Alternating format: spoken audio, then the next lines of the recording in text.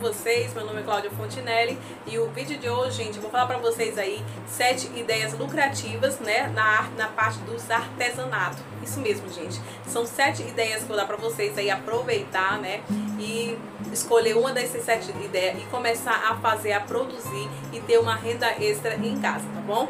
Não esqueça, deixa um comentário aí qual foi das dicas que vocês mais gostaram, tá bom?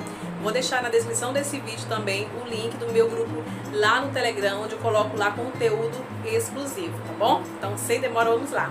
A primeira dica é laços e tiaras para bebê. Isso mesmo, gente, tá tem uma tendência muito grande, né? As mães gostam muito de comprar enfeites, né, para as crianças e você pode estar tá investindo em laços, né, e também em tiara, né? Tem vários é, modelos né, de laços, são bem chamativos, então assim, vale a pena você estar tá, é, criando né, esse tipo de laços né, e tiara para que tá vendendo para as, as mães, bebê, você pode estar participando dos grupos, né, no Facebook de mães e tá divulgando, né, hoje no, até no YouTube tem vídeos, né, ensinando passo a passo como fazer laços, né, ou você pode também tá fazer cursos online, né, para se, é, se aperfeiçoar, fazer uma coisa mais profissional, né, então fica essa dica para vocês, tá bom?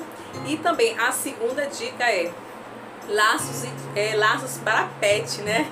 Isso mesmo, gente. A tendência aí de, de as pessoas terem animais em casa, né? Tá crescendo muito, né? E as pessoas querem ter quer os seus animais fiquem também muito bonito, né? Então, eles a tendência de fazer laços para pet, né? Totalmente diferente de você fazer o laço para criança. É um modelo já totalmente diferente, né? Então, você pode estar tá criando aí laços, né, para os pets, para os animais aí e tá investindo porque realmente as pessoas têm a procura está muito grande, as pessoas procuram por esse tipo de, é, de produtos, tá bom? E a terceira dica é, é sabonete artesanal, né?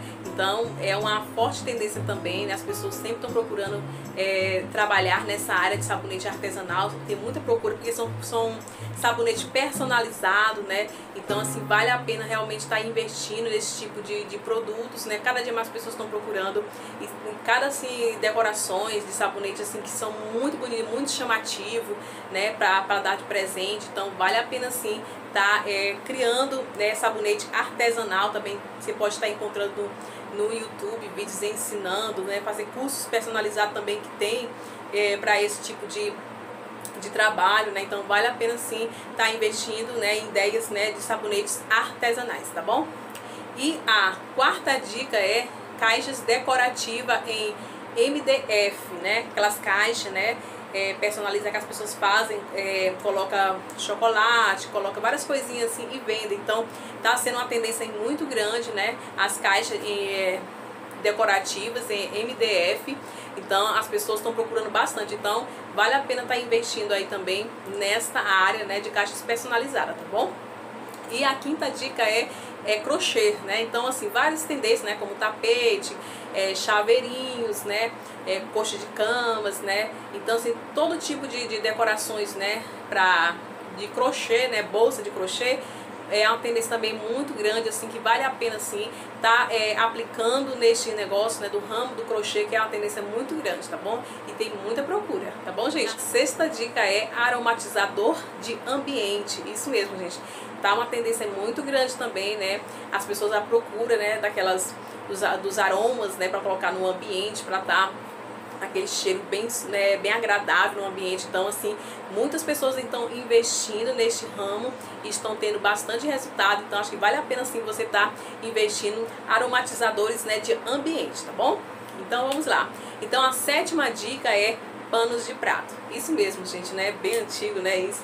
Mas é uma tendência também que as pessoas procuram bastante, né? Principalmente pano de prato personalizado, bem decorado, né? As pessoas amam muito pano de prato para ter em casa, né? Todo mundo precisa ter um pano de prato, né? Quando é um pano de prato bonito assim, as pessoas chamam muita atenção, né? Então, é outra tendência também que vocês podem estar tá investindo, né? E você tem essa habilidade, né? De estar tá tendo, de criar, né? Pano de prato decorativo. Vale a pena sim você estar tá investindo neste ramo, tá bom, gente? Então, Deixe seu comentário aí qual foi das sete ideias lucrativas aí que vocês mais gostaram, tá bom? Quero saber a opinião de vocês, tá bom? Então, ó, um beijo pra vocês e até o próximo vídeo. Tchau, tchau!